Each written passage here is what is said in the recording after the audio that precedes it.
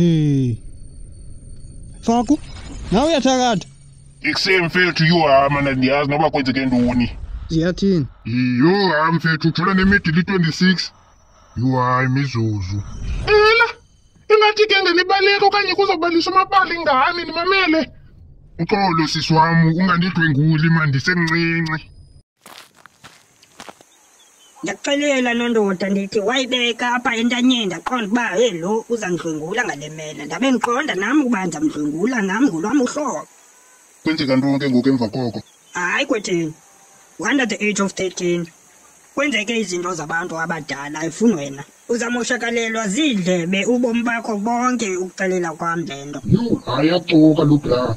Wathi unamatsheri ayi-15 kanti uziminca ngeenkukhu zikaba usticks. Ezo nkukhu zizale amantshontsho anobuso obufanayo nalo bra.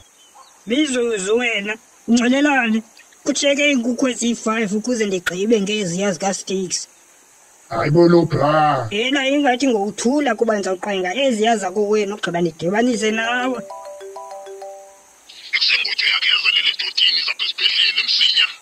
hayi boziya Uzuvobe mani zapha mani.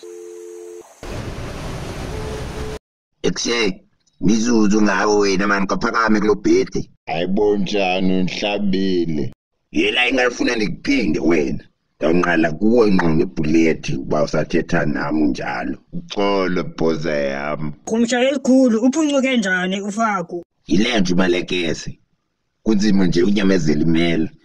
Ke ndikuhlabe entanyeni kanjani? Nazareth wami uxolo. jonga rhumsha lam sayifumana Nazo ke Stena, gcwala. Uyenze njani ke ngoku into yokunyamalala uthi gqi ngolu hlobo? Andiyazi nam. Uqhuba njani isibhani? Ngigxothiwe sibhani. Hayibo njani?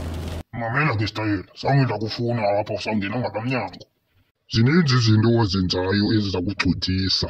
Uyalala wena ngexesha lomsebenzi. Abasebenzi bam bonke ngoku babukela iividiyo zezimanga ngenxa yakho. Watyela umfazi wena. Umane ebhuda ngawe xa seyiqhuba le nto. amane ebhuda ngawe qho. Hey, kuse uthini? Ifane uwolinge ke le. Wenza nje into encinci ndiyakugxotha ke mna ke andihlekisi. Hayi ndiyabulela mani mphathi wam mani yabo le game asoze ndikuphoxe mani. Nyanye ngoku. Ah bhoza. Uxhothiwe. Eh hayi makuba uye watsuza. Ya, khawufana ucinge. Eh Jo mamela mani udabula ufuna undicisha la we. Yimizuzu. Udabula. Wenze ntoni? Andiyazi. Yo, uzawuthumelisa ke Ostena bakudlwengule ngetoothpick. awunayo newari ye lo mfethu unjani? Akagqithisi wenza manyani. Ndithi le out ayinasizi 11 o'clock ithi qi wena uzawuva ngezingqi koqonisa qinqiqinqi umla womqala tyizibinile lo mfethu uyihora kazenzi umsoloko ubhizi uthe hamba khalithuthi kuthiwa imini emisisi